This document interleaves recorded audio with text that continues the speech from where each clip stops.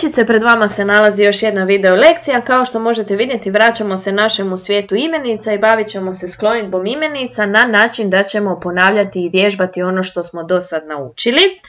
Pa za početak ponovimo. Plonitba ili deklinacija to je promjena imenica po padežima. Čim je promjena znači da su imenice promjenjive riječi i one se mogu, svaka imenica se može promijeniti sedam puta. Mijenjaju se nastavci i osnova uvijek ostaje ista. No da vidimo koji su nam to padeži. Nominativ odgovara na pitanja tko ili što, tko za živo, što za neživo.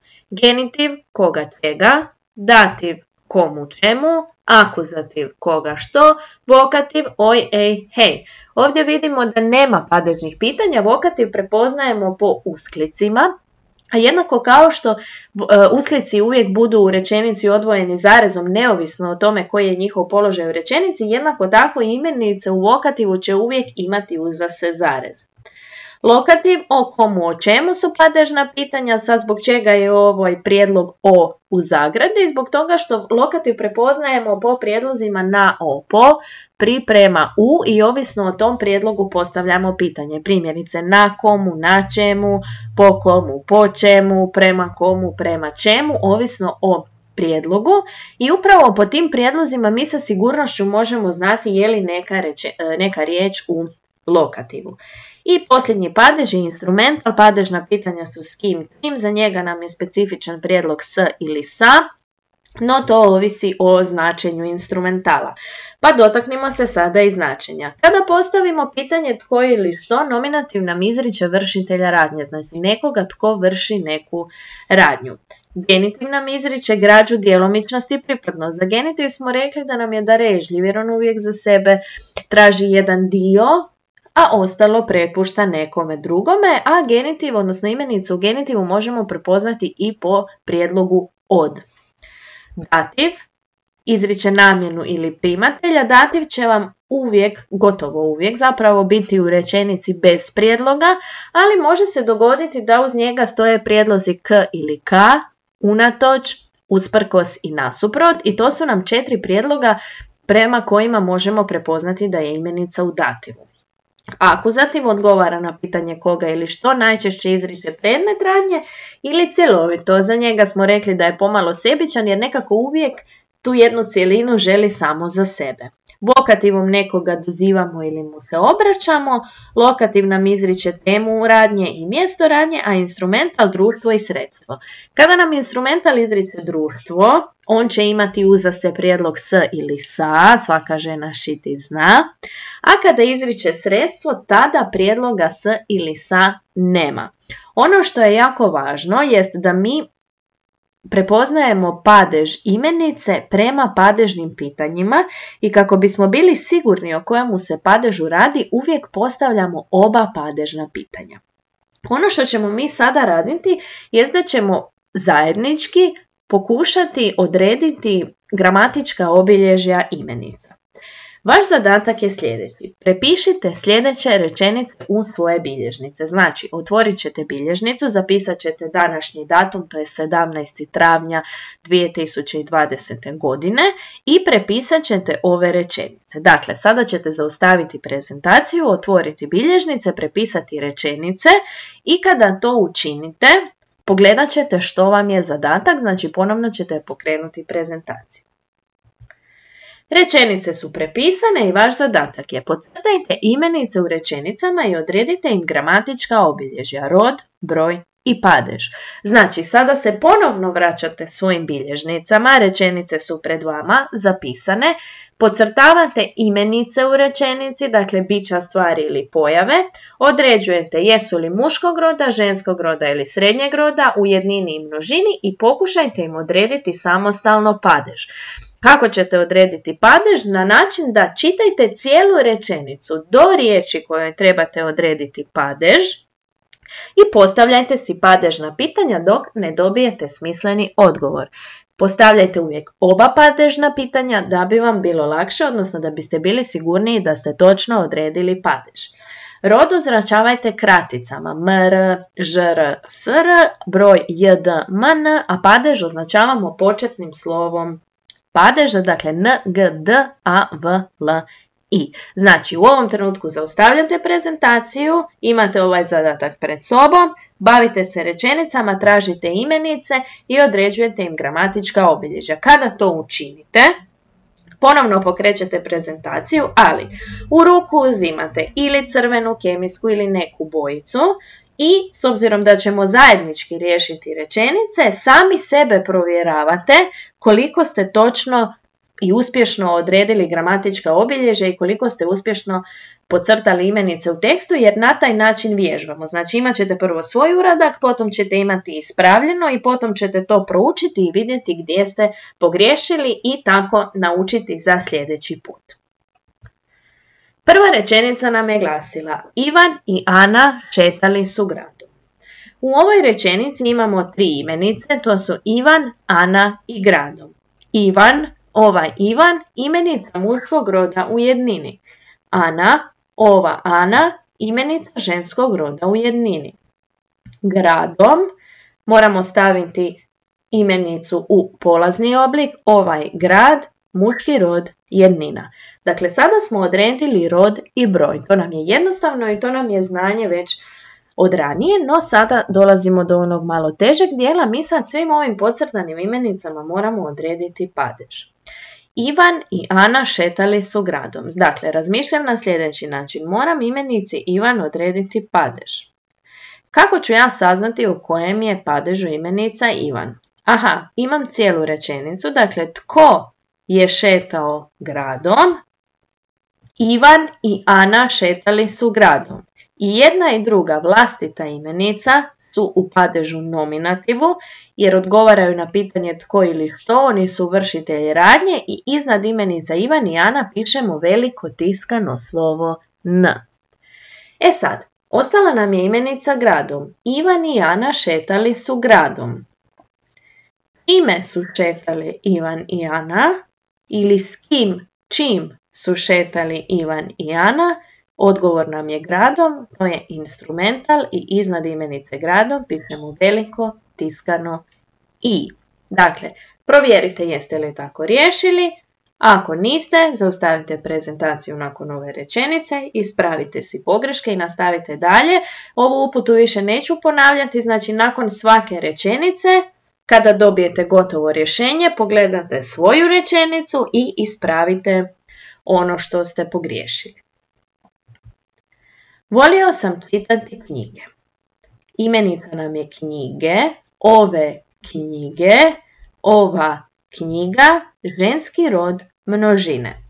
Moramo odrediti padež. Postavit ćemo si pitanje koga ili što sam volio čitati i odgovor nam je volio sam čitati knjige. Znamo da na padežno pitanje koga ili što odgovara akuzativ, pa iznad imenice knjige pitamo veliko tiskano slovo a. Dodaj mi šećera i sol. U ovoj rečenici imamo dvije imenice, to su šećera i sol. Ovaj šećer, muški rod jednina. Ova sol, ženski rod jednina. Dodaj mi koga ili čega malo. Dakle, dodaj mi malo šećera. Tu vidimo da se radi o darežljivom genitivu i iznad imenice šećera pišemo slovo G. Da je rečenica glasila dodaj mi šećer, bilo bi dodaj mi koga ili što šećer i tada bi imenica bila u akuzativu. Ovdje imamo ovaj nastavak A, koga čega nema, ako se prisjetite, tako si pomažemo oko genitiva, nema šećera i ta imenica nam je u genitivu.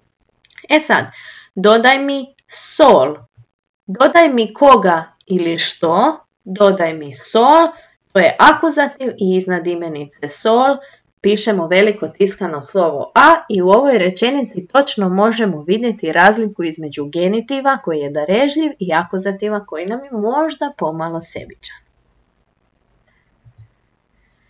Mislim da ću se i dalje družiti s Markom, ali neću više ići biciklom u školu. U ovoj rečenici imamo također tri imenice, to su Markom, biciklom i školom.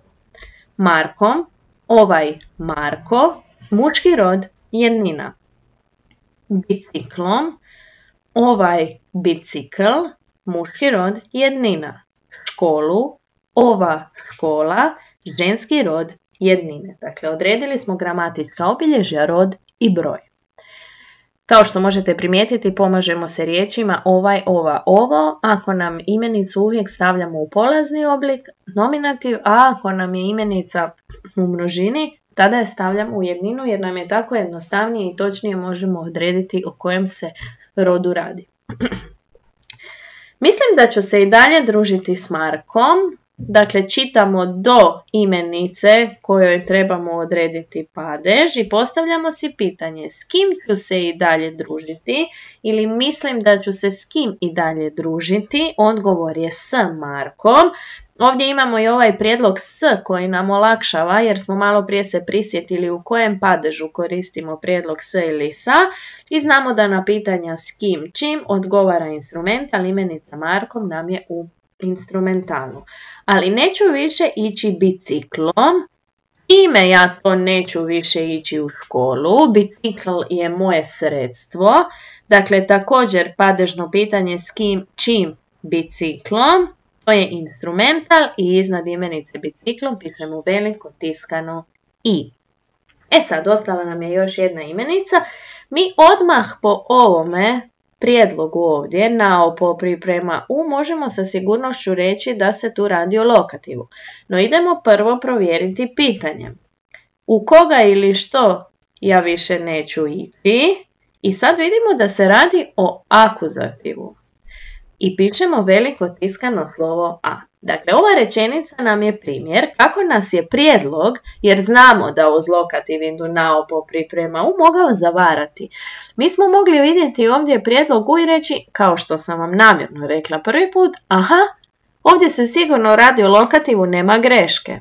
Zato uvijek treba postavljati pitanje Dakle, u komu čemu odgovor bi bio školi i tada bi to bio lokativ, ali u koga ili što ja više neću ići biciklom u školu i vidimo da se radi o akuzativu. Upravo vam je ova rečenica primjer kako uvijek moramo provjeravati padežnim pitanjima. Ako vi slučajno ne možete nikako doći do odgovarajućeg padežnog pitanja, vi krenite sklanjati imenice od nominativa. Zbog toga nam je to bila i početna vježba kad smo se susreli sa sklonitbom imenice, znači krenut ćemo. Tko što postoji, postoji škola. Koga čega nema, nema škole. Komu čemu prilazim, prilazim školi. Koga što vidim, vidim školu. Aha, odgovara mi oblik za akuzativ, ali idem još provjeriti dalje. Ojej, hej, školo, o komu, o čemu, o školi, s kim, čim, školom. Znači, odgovara mi jedino oblik za akuzativ i sada smo na sve načine provjerili o kojem se padežu radi. Radi se o akuzativu i nismo se dali zavarati prijedlogom u. Marine, možeš li mi dodati čašu vode? Imamo tri imenice, Marine, čašu i vode. Ovaj Marin, muški rod, jednina. Ova čaša, ženski rod, jednina. Ova voda, ženski rod, jednina. Marine, oj, ej, hej, Marine, to nam je vokativ i pišemo veliko tiskano slovo V, a ova imenica u vokativu kao što možete primijetiti odvojena je zarezom jer smo rekli da imenice u vokativu uvijek odvajamo zarezom. Da se ta imenica primjerice nalazi na kraju rečenice, zarez bi bio ispred nje. Da se nalazi u sredini rečenice, zarez bi bio i ispred i iza i tada znate da je ta imenica sigurno u vokativu, ali za svaki slučaj postavimo si usklike da provjerimo o kojem se padežu radi. Možeš li mi dodati koga ili što? Dodati čašu. Koga ili što vidim, vidim čašu. To je akuzativ iznad pišemo veliko tiskano slovo A. Možeš li mi dodati čašu čega? Čašu koga ili čega? Čašu vode. To je genitiv i pišemo veliko tiskano slovo G. Da je to akuzativ, pisalo bi vodu. Možeš li mi dodati koga ili što vodu, ali možeš li mi dodati koga ili čega, vode, koga ili čega nema vode, malo vode, znamo da je to djelomični genitiv. Tanja je gledala sliku i nije se mogla nadiviti ljepoti proljeća na prikazanoj livadi, naša je posljednja rečenica i najteža rečenica. Imenice su nam Sanja, sliku, ljepoti, proljeća i livadi. Dakle, ova rečenica ima čak pet imenica. Idemo jednim redom. Ova Sanja, ženski rod jednina. Ova slika, ženski rod jednina. Ova ljepota, ženski rod jednina. Ovo proljeće, srednji rod jednina. Ova livada, ženski rod jednina. Kao što možete primijetiti, ponavljam još jednom, uvijek imenicu stavljamo u polazni oblik. Ako vidite imenicu sliku, znamo već po značenju o čemu se radi, postavite si pitanje tko što postoji, postoji slika. Ok, sad imam polazni oblik i sad mi je lako. Ova slika, ženski rod. Ili, na primjer, proljeća. Vi ste mogli reći ova proljeća, ali nije. Ovo je proljeće, tko što postoji, postoji proljeće i znam da je to srednji rod jednina. I idemo sada na posljednje gramatičko obilježje, to nam je padežić. Tko ili što je gledao sliku? Sliku je gledala Sanja, to je nominativ, imenica Sanja je vršitelj radnje i ona je u nominativu. Što je Sanja gledala? Dakle, koga ili što je Sanja gledala? Gledala je sliku, naslučujete već, to je akuzativ, predmet radnje. Sanja je gledala sliku i nije se mogla nadiviti. Čemu se Sanja nije mogla nadiviti? Dakle, komu ili čemu se Sanja nije mogla nadiviti? Nije se mogla nadiviti ljepoti. Komu čemu prilazim, prilazim ljepoti. To nam je dativ. Ljepoti koga ili čega se nije Sanja mogla nadiviti, ljepoti proljeća, koga čega nema proljeća, a da je akuzativ bilo bi koga što vidim, vidim proljeće, dakle imenica proljeća nam je u genitivu. Na komu ili čemu je prikazana ljepota proljeća, na komu ili čemu, na livadi, to je lokativ zbog toga što imamo prijedlog na. To će vam se ponekad dogoditi u rečenicama. Znači, neće vam ovaj prijedlog biti neposredno ispred imenice pa da biste vi mogli odrediti o kojem se padežu radi, nego e, hrvatski jezik je bogat i pruža razne mogućnosti poredka riječi, pa tako će vam nekada prijedlozi biti razdvojeni od imenice i zato koliko god puta treba pročitati rečenicu. Jer ako ja pročitam, Sanja je gledala sliku i nije se mogla nadiviti ljepoti proljeća na prikazanoj livadi. Pa pročitamo opet. Nije se mogla nadiviti ljepoti proljeća na prikazanoj livadi. Ja po smislu već znam da je na uz imenicu livadi. Jer ako vi zanemarite ovo na, vi ćete odrediti komu čemu prilazim, prilazim livadi i onda će vam učiteljica reći aha, a gdje je prijedlog? I onda ćete reći ah da, stvarno je to tako. Ovom rečenicom smo došli do kraja. Dakle, danas smo na ovih nekoliko primjera ponovili na koji način možemo, odnosno određujemo padeže i gramatička, ostala gramatička obilježja imenicama u rečenici i molim vas, znači osnovna su pravila. Kada određujete rod i broj, stavite si imenicu uvijek u nominativ pa ćete odmah razaznati o kojem se rodu radi, ovaj, ova, ovo i je li jednina ili množina. Kada određujete padež bez straha, ovo se sve uvježbava, čitamo rečenice u cijelosti nekoliko puta dok nam ne sine što trebamo dalje činiti. E, postavljamo si pitanje na način da iskoristimo radnju u rečenici i postavljamo ono padežno pitanje da nam odgovor, odnosno imenica, bude smislena. Ako ne možemo, a razvit će vam se s vremenom da ćete odmah vidjeti o kojem se padežu radi i koje padežno pitanje trebate postaviti, e, čitajte rečenicu od početka, i uspjećete, vrlo vjerojatno. Ako ne uspijete, krenite s imenicom od nominativa, tko ili što postoji, do s kim čim se družim i onaj oblik koji vam odgovara, to je taj padež i pripazite na prijedloge koji se nalaze ispred imenica, ali jednako tako pripazite da vas ti prijedlozi ne zavaraju. Sklonitba imenica je promjena imenica po padežima i ovime smo došli do kraja današnje video lekcije, današnje kratke vježbe i e, ponavljanja. Slobodno možete prezentaciju pregledati koliko god puta smatrate e, potrebnim. Ono što je jako važno je da nastojite zadatke rješavati sami i da ste, ako ste stvarno ispoštovali uputu koja vam je ovdje dana, tada možete uvidjeti gdje griješite i sljedeći put kada budemo vježbali imenice, vjerujem da će se te greške smanjiti na najmanju moguću mjeru, samo moramo biti uporni i moramo e, vježbati. Do sljedeće video lekcije, do sljedećeg gradiva, bilo ono svijet imenica ili virtualno književnosti, možda čak i mediji i e, kultura. Pozdravljam vas učiteljica, ne brinite ništa, bez nervoze i stresa, sve ćemo mi to savladati. Hrvatski jezik je zaista lijep i pruža goleme mogućnosti. Iz dana u dan ćemo biti sve vješti u komunikaciji i služenju njime. Doviđenja!